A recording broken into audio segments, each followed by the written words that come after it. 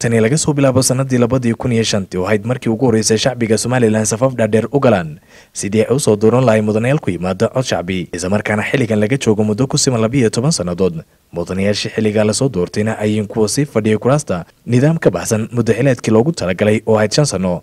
Waxuu golahaasi soo maray marxalado kala duwan oo inta badan saameyn ku yeeshay shucuurta shacbiga somalilan barbilow laga soo bilaabo fadhigii ugu horreeyay mudanayaashan yeeshaan oo ahayd kii ay ku soo dooranayeen shirgudoonkii maamulila sanadii labadii kun iyo shantii murankii ka dhashay oo ahaa kii ugu horreeyay balse aan saameyn xoogan ku yeelanin fadhiga iyo sidoo kale guud ahaan shucuurta shacbiga.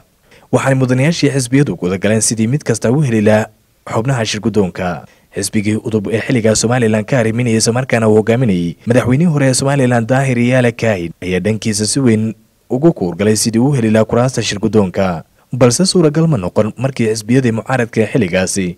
Kulmiye iyo wicid utel ambasator ay kulan ku qaateen sidii ay uga wada xaajoon lahaayeen codkoodana ay isugu biirin lahaayeen. Waxaana xilligaa isla garteen in guddoomiyaha golaha loo cumaamado cabdiraxmaan maxamed cabdilaahi ciro oo ka soo baxay xisbigii cadaaladda ee daryeelka wicid gudoomiye ku-xigeenka koowaadna laga dhigo cabdicasiis maxamed samaale oo xilligaa ka soo baxay xisbigii mucaaradka ee kulmiye iyo sidoo kale gudoomiye ku-xigeenka labaad oo loo qoondeeyey baashe maxamed faarax oo isaguna ka tirsanaa xisbigii mucaaradka ee kulmiye. suuragal ma noqon mudanayaashii ka soo jeeday xisbigii maxaafidka xilligaasi udub inay codkoodu saameyn yeesho islamarkaana musharaxiintii ay wateen ay hantaan shirgudoonka golaha iyo shirgudoomintiisuna waa ay sii socotay. sanadii labadii kun iyo sagaalkii ayaa khilaafkii labaad mar kale soo kala dhex galay mudanayaasha golaha wakiilada iyadoona xilligaasi mudanayaal u badan mucaaradku ay keeneen. Mooshinka dhana madaxweynihii xilligaa somalilan ka arriminayay daahir yaalla kaahid ee ka soo baxay xisbigii udub iyadoona dhanka kale mooshin kulida oo ay wateen mudanayaashii muxaafidka xilliga ee udub ay keeneen islamarkaana ay ku wadeen inay ku ridaan shirgudoonka aqalka wakiilada khilaafkaasi oo sababay in xukuumaddii xilligaasi ee madaxweyne daahir yaalla kaahid golaha soo dhoobto ciidan tiro badan islamarkaana furaha golaha lagala wareego shirgudoonka aqalka wakiilada. Dhaawac iyo dhimashada mudaharaadyo kala duwan oo si joogtaa golaha hortiisa uga dhici jiray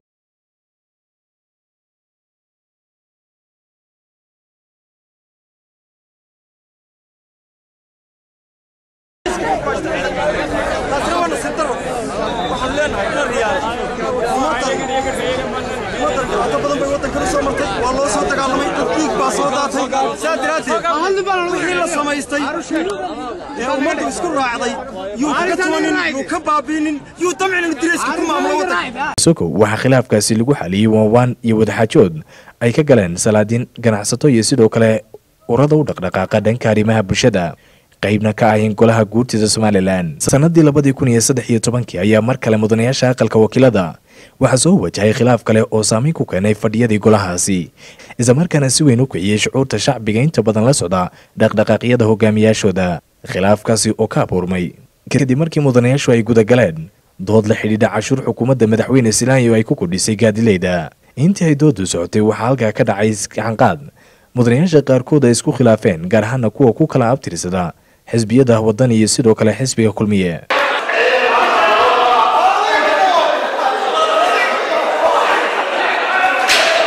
shan iyo labaatankii bishii januari sanadii labadii kun iyo afar iyo tobankii waxaa mar kale goluhu cod ku meelmariyey wax kabeddelaya kaabid lagu sameeyey xeeroosaadka golaha taasoo xilligaasi sababtay in guddoomiye xigeenkii koowaad iyo guddoomiye ku-xigeenkii labaad ee golaha wakiilada ay fadhiistaan. Meel ka duwan goobihii hore looga bartay shirgudoonka aqalka wakiilada. Mudanayaashii xisbiyada kala duwan ku abtirsanayeyna cod aqlabiyada ku meel mariyaan waxaana gunaanadkii isla khilaafka lagu xaliyey waanwaan iyo wadaxaajood ay galeen.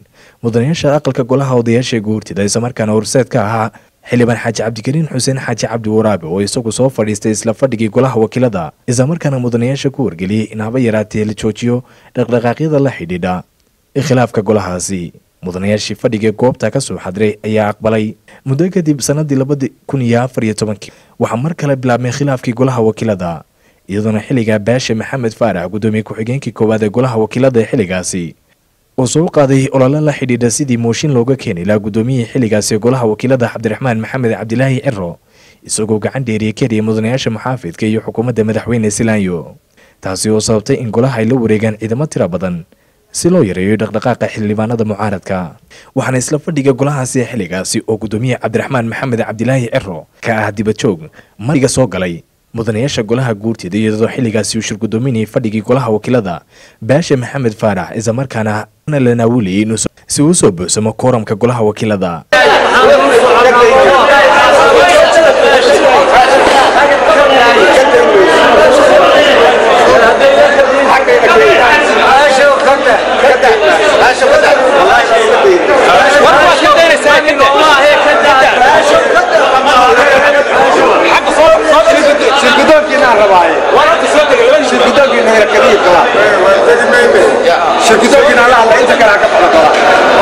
mudanayaasha ka soo jeeda gobolka awdal ayagu isla daqiiqado kooban ku gacan saydhi. Mooshinkii ay hore u wateen ee ku aadanah in la rido gudoomiyaha golaha wakiilada iyaguna warbaahinta u sheegay inay ka shaqaynayaan danta guud ee caamka ee shacbiga somalilan islamarkaana ay ka noqdeen mooshinkaasi. Xaluhelidda khilaafka mar kale golaha soo wajahay kasokow waxaa labiyo tobankii bishii sebtembar sannadii labadii kun iyo shan iyo tobankii mar kale golaha la hor mooshin ku aadan in la wareejiyo hamaha shidaalka magaalada berbera taasi oo mar kale mudanayaasha buuq ka dhex dhalisay islamarkaana ay ku kala qaybsameen.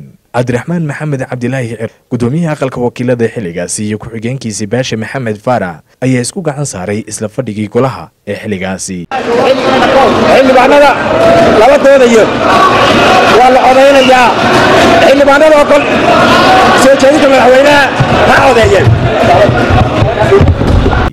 buuq iyo sawaxan ka dhex dhashay kasakow waxaa muddo yaroo kooban kadib waanwaan iyo wadaxaajood si weyn looga wada howlgalay lagu soo afbeeray isla khilaafkaasi. Bishii labaad ee sannadii labadii kun iyo toddobiyo tobankii waxaa fadhi wadajir oo yeesheen. Mudanayaasha guurtida iyo wakiilada la hor keenay mooshin. Samaynta saldhig militari oo laga sameeyay magaalada berbera oo la siiyo dowladda imaaraadka iyo sidoo kale. Wareejinta marsada weyne caalamiga dekadda berbera iyadoo mudanayaasha golaha guurtida iyo wakiilada wadajir goobta uga soo xadray. Islamarkaana fadhigay goobjoog ku ahayn gudoomiyaasha golayaasha wakiilada iyo guurtida. Goobjoogna dhanka kale ka ahaa madaxweynaha somalilan iyadoona xilligaa madaxweynuhu ka horjeediyey mudanayaasha warbixin ku aadan islaam saldhigga militari iyo wareejinta dekadda berbera. Daqiiqado koobanna kadib madaxweynaha la fasaxay. Waxaana barbilow shir gudoominta fadhiga la sii wareegay gudoomiyaha golaha guurtida. Salebaan maxamuud aadan isagoona mudanayaasha ku wargeliyey in la gelin doono cod waxaana intaa kadib laabmay buuq la xidhiidha diidmada mucaaradka ee isla saldhigaasi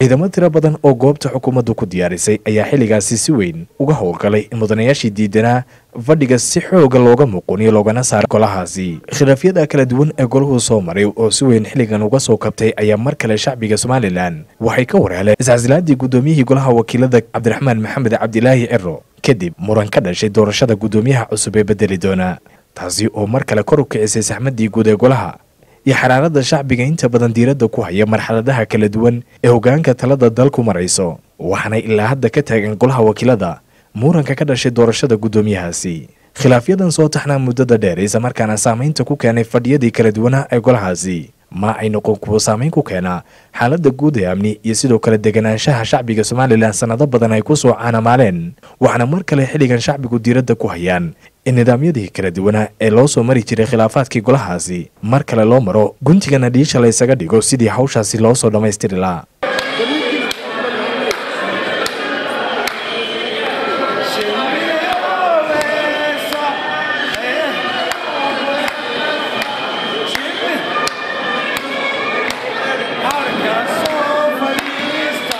Faysal maxamed aadan faysal fifa tv-ga caalamiga somaali cable magaalada hargeysa